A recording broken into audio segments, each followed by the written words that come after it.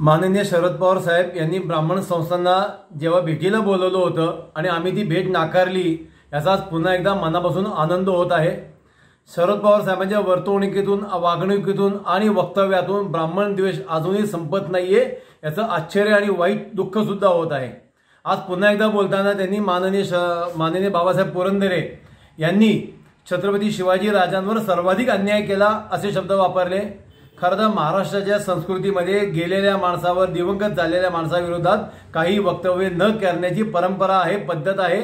असं असताना सुद्धा हे जे वक्तव्य केलं गेलंय त्याचा आम्ही हिंदू महासंघ म्हणून निषेध करत आहोत. आमची माननीय पवार साहेबांना विनंती आहे की तुम्ही आता माननीय वंदनीय छत्रपती शिवाजी महाराजांवर न्याय करावा. तुम्ही छत्रपती शिवाजी महाराजांचा एक अभ्यास करा. तुम्ही छत्रपती शिवाजी राजांचा पुस्तक लिहावं कादंबरी लिहावी.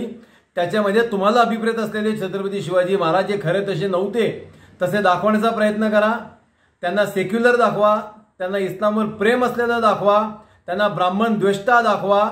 त्यांना तीस टक्के आरक्षणसुद्धा मान्य होतं असा सुद्धा प्रकार दाखवा. परंतु छत्रपती शिवाजी राजांचं नाव घेऊन राजकारण आता तरी थांबवावं अशी विनंती आहे.